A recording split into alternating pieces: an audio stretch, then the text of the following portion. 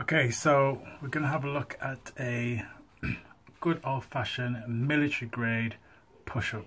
Talking about exercises that are good for working on your chest, developing a nice strong chest, um, and the chest press push-up, whatever you want to call it, is a good one when done correctly. Now I'm going to just show you the simple version. This is one that they use in these armies. I've been taught um, of good source. This is what we call a military grade, so it's going to get you working on your triceps and also the main part or the main pectoral muscles. There are going to be, or I'm going to show you also a little variation. So if doing the full push-up at this stage where you are in terms of your strength and ability, it's a bit much.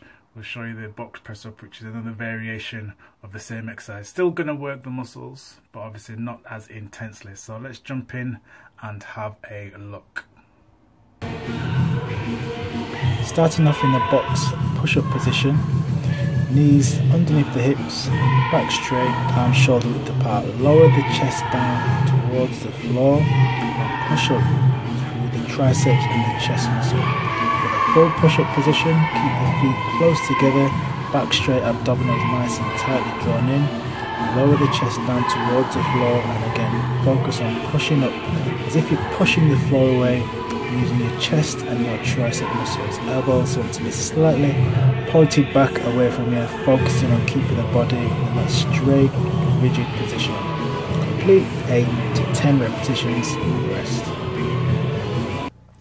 So there you go, that was your military grade press up exercise designed to work on your chest. So give it a go.